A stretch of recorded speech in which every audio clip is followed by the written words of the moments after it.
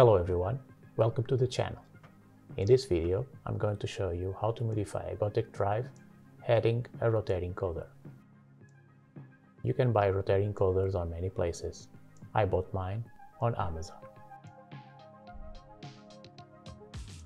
The tools that I'm going to use are a screwdriver, a drill, 3 and 7 mm drill bits, soldering iron and solder, jumper block, and 4 wires. The Gotek drive is a floppy drive emulator and physically is quite similar to a floppy drive, especially in terms of size and type of connectors. On the front, instead of the typical opening for floppy disks, there's an USB port for inserting a pen drive.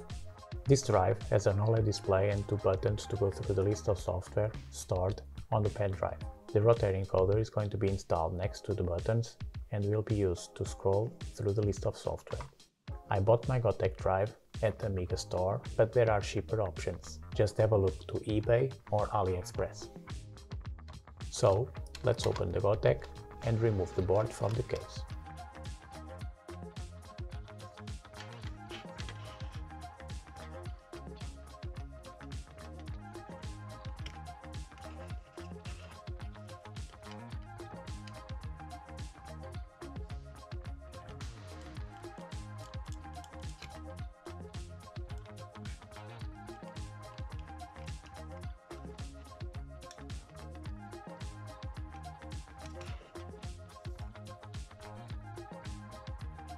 I'm going to add a jumper block here to connect the wires from the rotating collar, but you can solder directly on the board. This mod is applicable to this Gotek revision.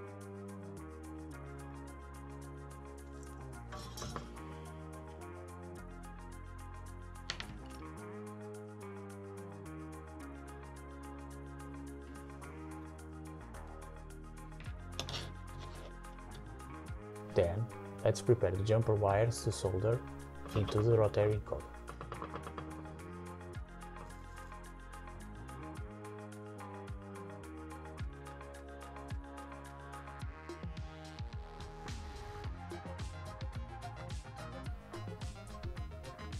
Now, let's solder the wires to the rotating encoder according to this diagram.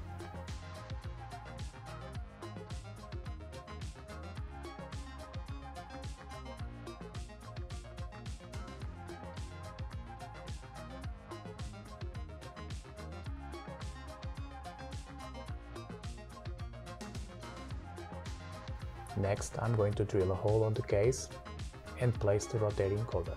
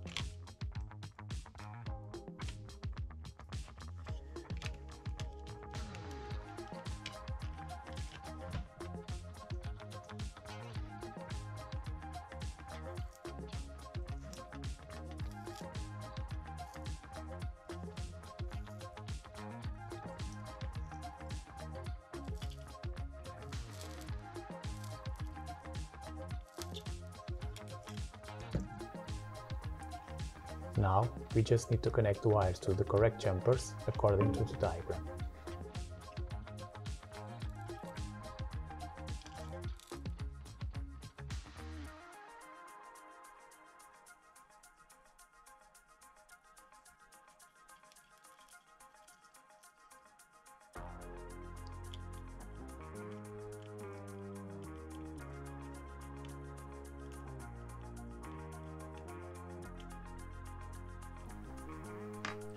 After some cable management, let's close the case.